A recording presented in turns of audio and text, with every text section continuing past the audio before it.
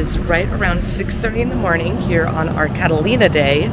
And um, I am just getting ready to go grab some coffee over at Cove because I was up until way too late last night and I'm exhausted. So I'm going to grab a coffee before I have breakfast. Looks like my favorite coffee uh, barista is still there.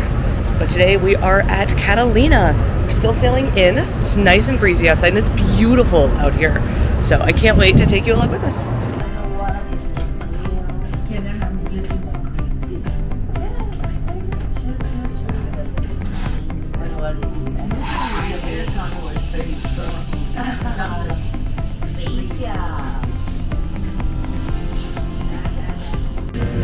Know it's a big food. I trust you. Surprise you. hmm I always love surprises.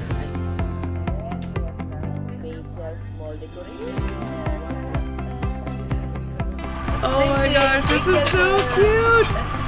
It's Baymax! I've never had Baymax! Thank you!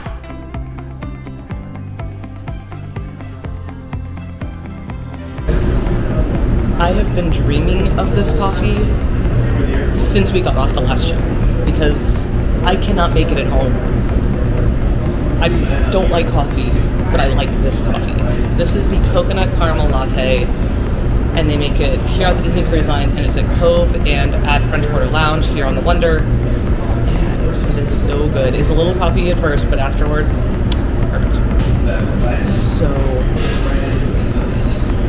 good. The view with coffee as we're sailing in right before breakfast. A great way to start the day. And it has Baymax.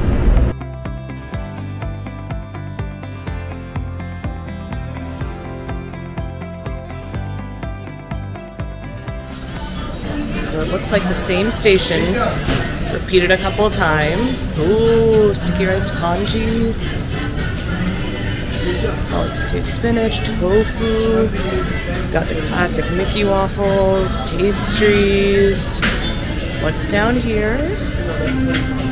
Ooh, bagel with egg and spinach. Good Morning, ma'am. Good morning, good morning. Is there an omelet station somewhere? Perfect, thank you. Here we have more pastries. Ooh, breakfast potatoes. Those are my favorite.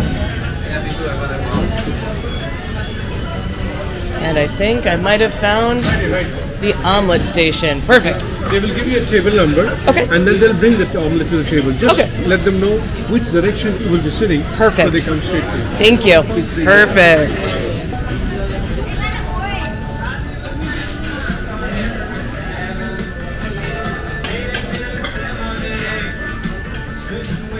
Good morning. Today I've decided to go with a full English breakfast with a side of a Mickey waffle with strawberry whipped cream uh, and a couple of pieces of smoked salmon and a cup of Joffrey coffee. So I've got scrambled egg fried egg because I didn't find it till later, baked beans, uh, potatoes, hash browns for my friend Chrissy, and bacon. That's for me. I've got an omelet coming, and then I got some fruit, uh, pineapple and honeydew, and some roasted potatoes, and the coffee you saw earlier. I also got an omelet. They have made to order omelets here, and you just go up, write down what you want, they write down what you want, and bring it out to you. It takes a little bit, but I think it's worth it.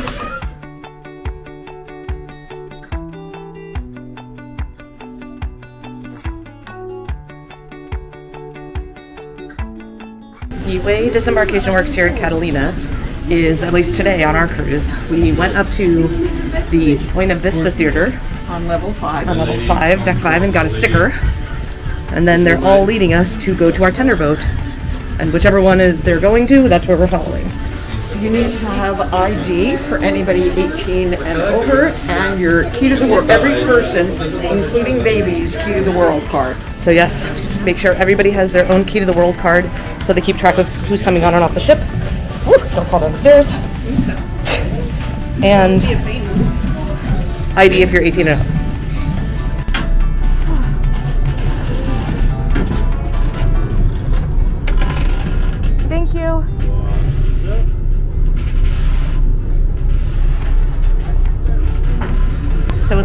There are four tenders here at Catalina. There's two alongside the ship, and then there are two that are just waiting for to come on in and bring people off. So just outside there, you can see the other two tenders that are going to pull alongside as soon as we're off. With that, we are off to Catalina. Thank you so much.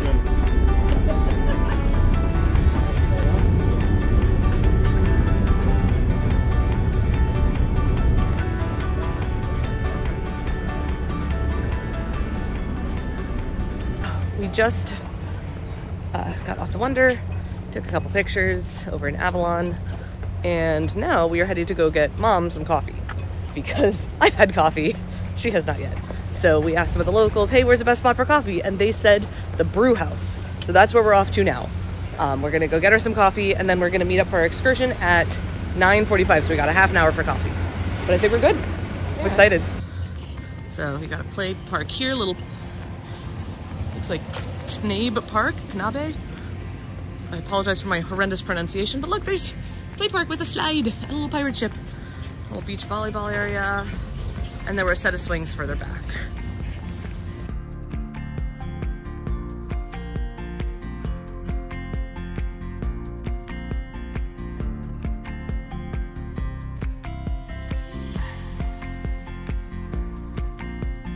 Here on Catalina, you're gonna see a whole lot of golf carts. You'll see a few gas, a few uh, gas vehicles, but there's a lot of golf carts because you don't. It's a small island. You don't need a ton of space. You can, if you live in the downtown area, you can pretty much walk everywhere. So I'm heading off to go meet my mom at her coffee shop that we found, and we're gonna pick up there.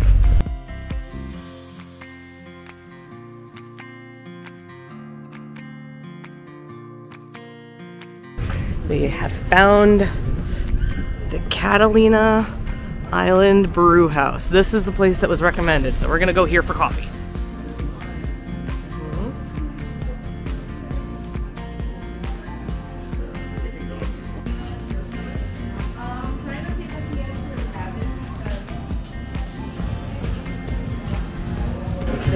2019 Favorite Brewery and the 17th Annual Microbrew Festival.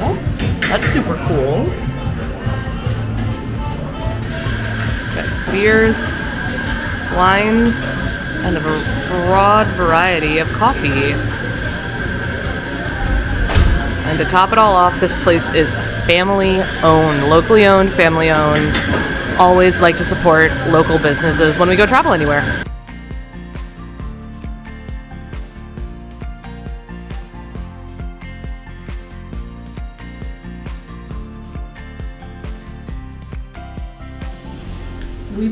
Tour through the Catalina Conservancy directly. Now, I can provide a little more information probably down below in the doobly-doo or the, the comments um, or links, just so that if you want to book directly through the Conservancy, rather going through, than through the cruise line, it makes life really easy.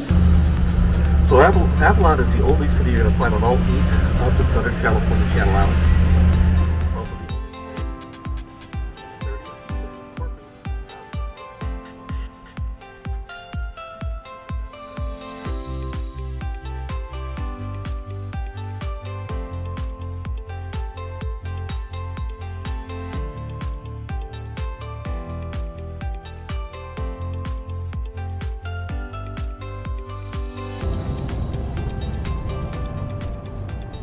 Oh, dead end. You gotta crash the gate.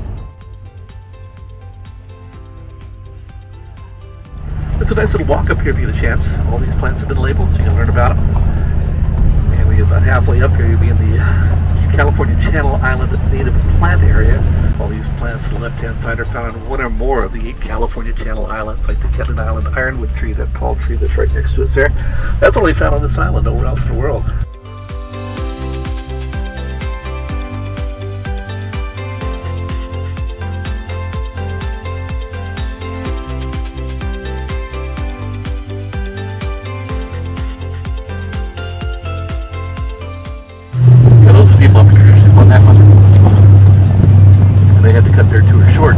go around the back different way and go back down the hill that we couldn't go up. So they had a detour too.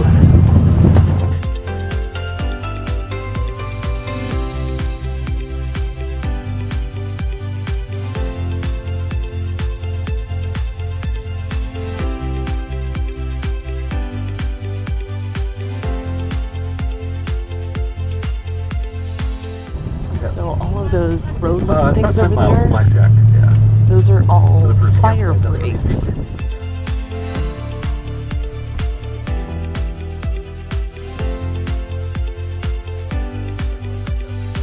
I'm hoping we find some a little bit closer, but I never know. They do roam freely out here. Left-hand side, or Coreopsis giganteum. This is found out on the California Channel Islands, a couple of places on the mainland, but not very many.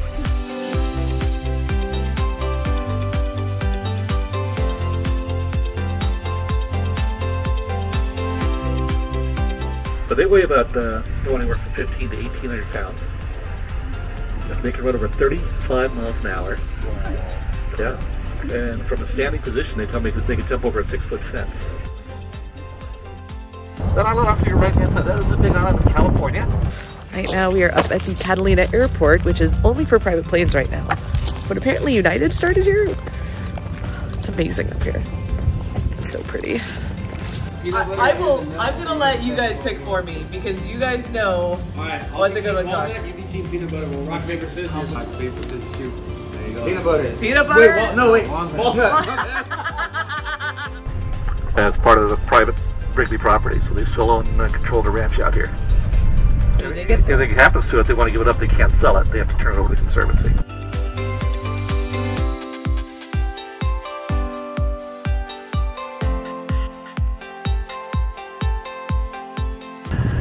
Called Shark Harbor right down here below us.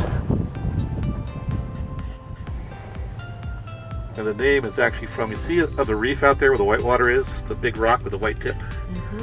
Yeah, you squint really hard and drink about six beers. Looks just like a shark fin.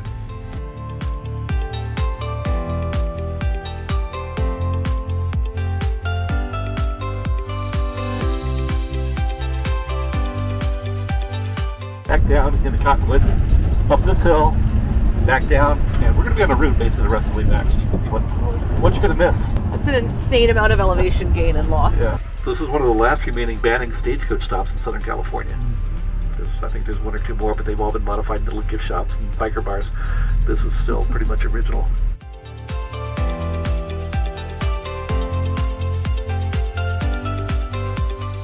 Done by what we call the acorn woodpecker. And they are what they do is they prepare these trees, they put all these holes in the buildings and the trees, and then every year when the acorns ripen up, usually September, October, they'll collect them and stash them in there. Okay, I look good for pictures now.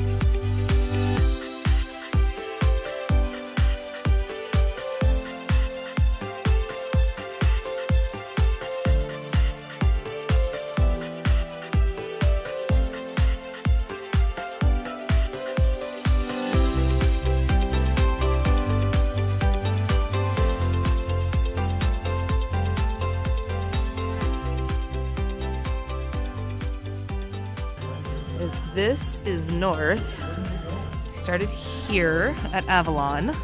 Right. And then we came up through the gardens, and I think normally they take a different road, but we took a diff- we took a, there was a uh, road closure because of a truck. So I think normally the road goes up this way, but we went this way, and we came this way into. We came by the reservoir. We came over. We came over by Blackjack Mountain. Drove over to the airport. And I think this is where we saw the bison. Yes. Yeah, we saw the bison over at Blackjack Mountain. Because there was up here, they were like up here, Yes. This way. right? Over to the airport in the sky. Drove up to there. Then we came down by El Rancho Escondido Road. And we drove Probably- along that path over to where we could overlook. Oh, hold on. Where we could overlook Overlooking Shark Harbor Shark Harbor, and Little Harbor. Little Harbor. And then we continued the path around.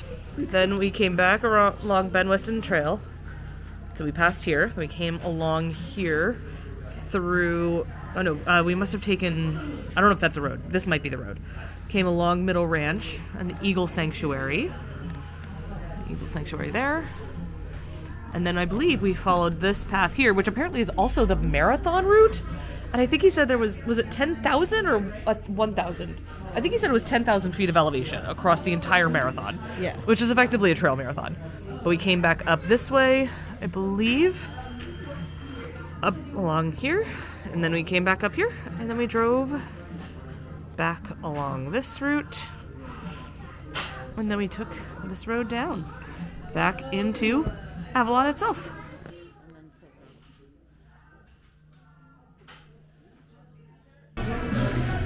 So we came to a place called NDMK here in Catalina today. And for lunch, I got the two pieces of yellowtail nigiri because this was caught today and filleted this morning. I also got the poke bowl, which has a half rice, half lettuce base, and I got it split with the uh, salmon and tuna. And mom got the the swordfish, Harpoon sword. harpooned swordfish, which also super fresh, caught this morning. I think they said caught this morning.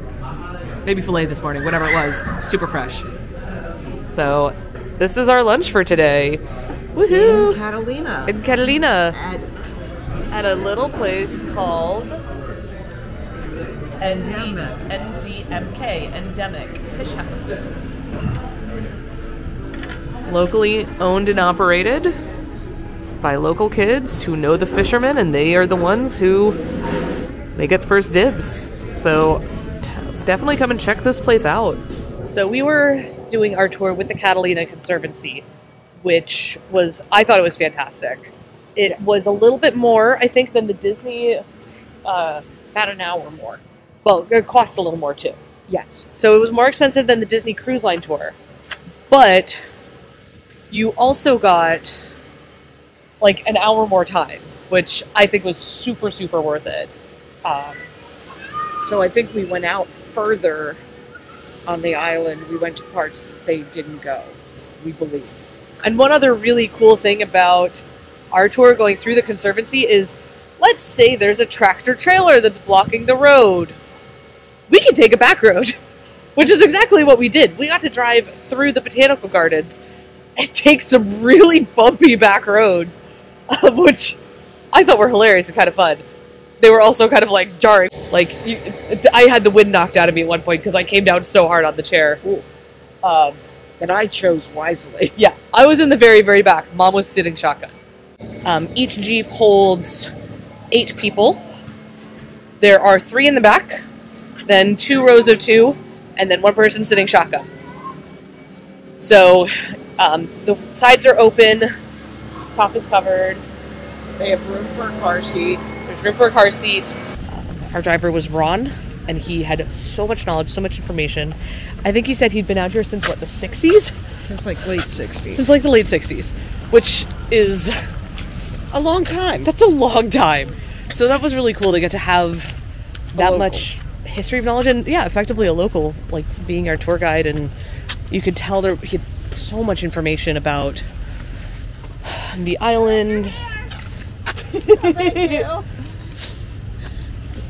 about the island, about the different creatures, and about the, con- the conservation efforts that are being done. Um, down to why are there why are there grates and gates and, and cages around all of the trees? because there is an invasive species, the deer here, and the deer here will eat all of them. And it's mule deer. and it's mule deer. And the mule deer are not from the island. But going through the conservancy made sure that the majority of the cost went back into the island and keeping the island preserved and natural and all of that kind of thing, which for us is worth it to us. Right. And we like to support local and we like to support local environments. So that was a priority for us. We booked ahead of time online, and if you go through the Conservancy, they have a shop downtown, and you can get 10% off of your purchases there as well. So get some cool Catalina stuff, get back to the island, and we'll send a, we'll put a link on somewhere of how to sign up and go direct through the Conservancy for a three-hour tour rather than a two-hour tour through your cruise line. but that was our that was our short version, our short wrap up on our thoughts. The Catalina Conservancy Eco Tour through their Jeep